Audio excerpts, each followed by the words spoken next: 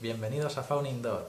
En el vídeo de hoy vamos a hablar de una de esas cosas raras que hacen nuestros amigos los gatos. Seguro que alguna vez los que tengáis gato habéis visto que el gato se os queda un rato oliendo y después abre la boca y se queda con la mirada perdida. Bien, ¿esto por qué lo hacen? Resulta que los gatos, además del sentido del gusto y del olfato, tiene otro sentido en el que digamos que ambos se mezclan, son capaces de saborear los olores.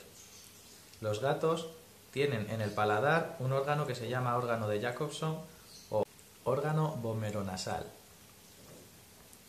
Cuando detectan un olor que les llama mucho la atención, por ejemplo, cuando huelen a una gata en celo, o el marcaje de orina de otro gato por su territorio, o incluso un olor nuevo para ellos, se quedan un rato oliendo y usan esta habilidad que tienen para saborear ese olor, les, proporciona mucha más información. Este órgano también lo tienen otros animales como los ciervos o los caballos. Cuando veis que un caballo se queda enseñando los dientes como si estuviera sonriendo, está teniendo la misma reacción que el gato cuando se queda con la boca abierta y la mirada perdida. Está saboreando ese olor intenso que ha detectado. Esta capacidad es otra de esas cosas que hacen únicos a los felinos.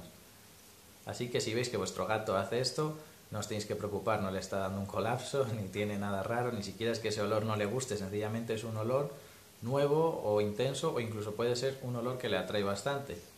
Así que ya sabéis, es completamente normal que un gato se quede con la boca abierta. Pues eso ha sido todo amigos, espero que os haya gustado. Si es así, dadle al like, suscribiros si no lo estáis y dejar vuestros comentarios por ahí abajo. Un saludo.